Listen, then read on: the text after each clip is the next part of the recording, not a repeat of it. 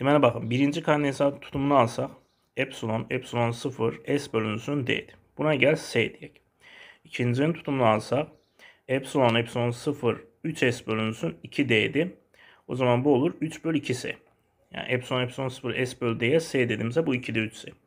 O zaman Q1'i alsaq, yük nedir? Tutum vur gerginlik. Birincideki ne oldu? Tutumu S, gerginliği 3 volt. Yani bu oldu 3S.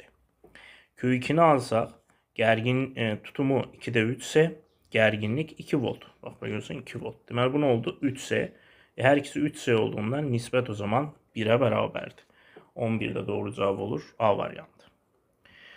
12'ye baxırıq. Kilogram vur volt bölünsün amper vur ohm ifadəsi hansı fizik əməliyyatın vahidinə uyğundur?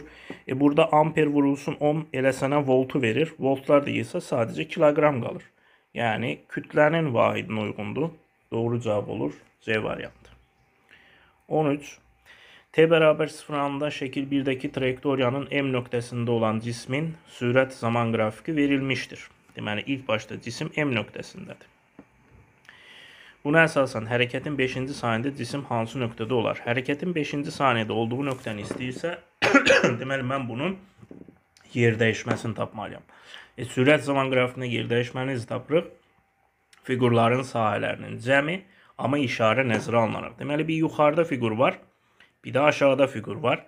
Yuxarıdakı fiqurun sahəsini alsaq, deməli bura 2-dən 1-ə 1 plus 3 bölü 2 vur 20. E nedir bura? 20 metr. Düzdür mü? Daha doğrusu 4 bölü 2, 2 40 metr. Yukarı elədi 40 metr.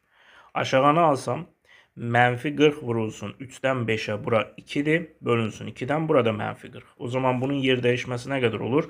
40 metr gedib e, və 40 metrdə x oxunun əksinə gedib. Demək ki, yer dəyişmə 0. Yer dəyişmənin 0 olması o demək ki, bu cisim gedib fırlanıb tekrar öz olduğu nöqtəyə qayıdıb. Yəni cisim 5-ci saniyədə yenə M nöqtəsində olar. 14. sual. Boşlukta yayılan elektromagnet dalgasının tezliği 10 üstü 19 Hz'dir. Bu dalganın uzunluğu neçə santimetrdir? Dalga uzunluğu mü bərabər, lambda bərabər S bölünsün müdür. Işıq sürəti 3 vur 10 üstü 8 və tezlikdə 10 üstü 19'dur. O zaman bunu hesablasaq 3 vur 10 üstü mənfi 11 metri almış oluruq. Cavab olur 14'də E variantı. Baxırıq 15 nömrəli suala. Qapalı qabda olan buxarın təzyiqinin temperatur asılı qrafik verilmişdir. Hansı nöqtədə mayenin kütləsi ən böyük? E baxın, qrafikin aşağı hissəsi doymuş buxara aiddir. Yuxarı hissə isə bu hissə isə doymamış buxara aiddir. E maye harda olar? Doymuş halda. Deməli doymuşun ən başlanğıc halında mayenin kütləsi daha böyük olur. Demək ki, 1-də mayenin kütləsi daha böyük olur. Getdikcə mayenin kütləsi azalır, buxarın kütləsi artır. Mayenin kütləsi ən böyükdür 1-də.